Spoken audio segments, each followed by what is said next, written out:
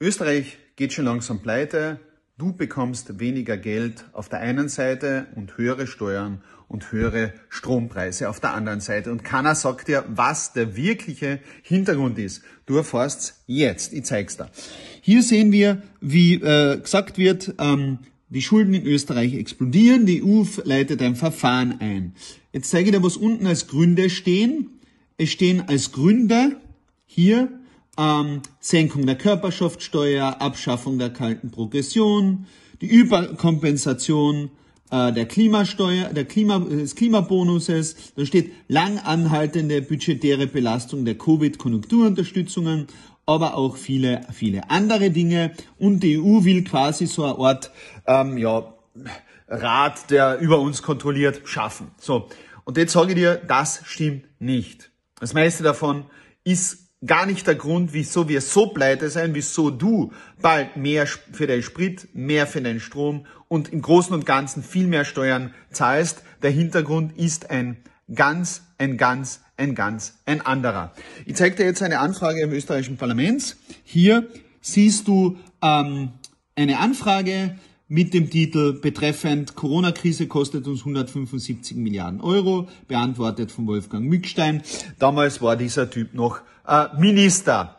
Ähm, um was es da drin geht, ist unter anderem die Kosten. Und jetzt zeige ich dir, was die wahren Kosten sind. Nämlich, ist es wirklich relevant, da diese kalte Progression und so weiter, sind das die großen Kosten? Und die Antwort ist nein. Denn was sind die großen Kosten? Was ist es, dass du die ganze Zeit immer mehr zahlen musst, immer mehr für Strom, für andere Sachen zahlen musst, warum du immer weniger Geld in der Tasche hast. Das ist politisch gemacht. Hat nichts mit irgendeiner Rezession zu tun primär. Das ist politisch gemacht. Ich zeige dir jetzt, wohin das Geld verschwunden ist. Und zwar, du siehst hier, ähm, die finanziellen Aufwendungen Österreichs im Zusammenhang mit der Covid-19-Pandemie. Testsystem 4000 Millionen Euro, also 4 Milliarden. Impfprogramm 1,4 Milliarden. Schutzausrüstung 600 Millionen. Medikamente 600 Millionen. Ähm, wirtschaftliche Unterstützung 40 Milliarden. Corona-Kurzarbeitszeit 9 Milliarden. Du siehst unterhalb die Quellen. Heute AT, du siehst BM, äh, das ist ein Bundesministerium, WN.at, Kurier.at. Ähm, insgesamt reden wir von Gesamtkosten von 70 Milliarden Euro. 70 Milliarden Euro. Das ist das Geld, was uns fehlt. Und jetzt ist die Frage, wie viel ist denn bitte 70 Milliarden Euro? Da kann sich ja keiner was drunter vorstellen. Ich habe da ähm, einen Vergleich für euch gemacht. Und zwar, was ist 70 Milliarden Euro? 70 Milliarden Euro, die gesamte soziale Sicherheit, Pensionen, Arbeitslosengeld, macht 40 bis 50 Milliarden Euro aus. Das ist eineinhalb Mal mehr als die gesamten Pensions- und Arbeitslosengelder. Die gesamte Gesundheitswesen macht 20 bis 25 Milliarden aus. Das ist dreimal so viel wie das gesamte Gesundheitsbudget. Bildung macht 12 Milliarden auf, das ist fünfmal so viel wie das gesamte Bildungssystem. Infrastruktur und Verkehr macht 10 Milliarden aus, das ist siebenmal so viel wie dieser Posten. Du siehst also, 70 Milliarden Euro ist fast so viel, wie man für das gesamte Sozialsystem, AMS, Pensionen, die ganzen Asylanten, alles in ungefähr zwei Jahren, eineinhalb bis zwei Jahren braucht. Ja, und das, was da drin argumentiert, ja, die Körperschaftssteuer ist schuld und so weiter, auch das habe ich da ausgerechnet, damit man mal äh, draufkommt, äh, was das, was das wirklich kostet. Und jetzt äh, zeige ich es dir. Und zwar, hier zeige ich dir. Ähm, die Senkung der Körperschaftssteuer, wie man hier sieht, kostet rund 1,6 Milliarden Euro. Wir wissen, 70 Milliarden kostet das andere.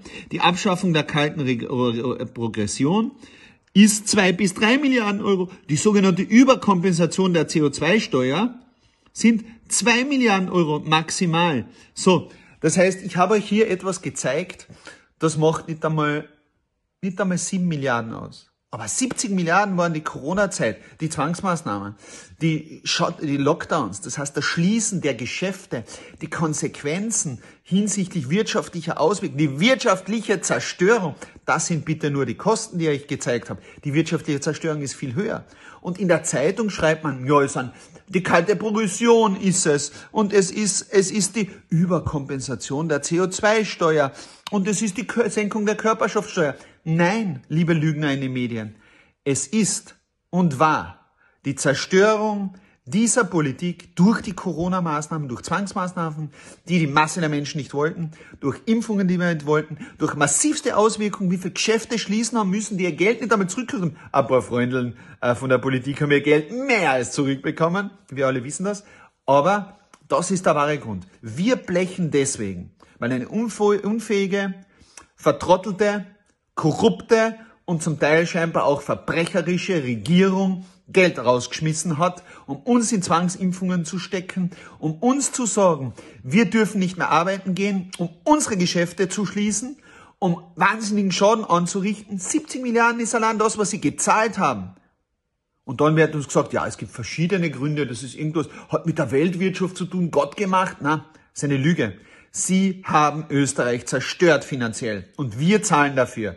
Jetzt zahlen wir dafür, morgen zahlen wir dafür, in einem Jahr zahlen wir dafür und in fünf Jahren werden wir dafür auch noch zahlen. Für Schwarz, Grün, Rot und Neos, denn die haben alle mitgestimmt bei diesen Maßnahmen. Zum größten Teil waren auch die Neos dabei, die SPÖ war fast überall dabei und Schwarz und Grün waren sowieso dabei. Das ist die Wahrheit und deswegen wirst du in diesen Weihnachten weniger in der Tasche haben und da weniger Geld haben, um anderen was zu schenken.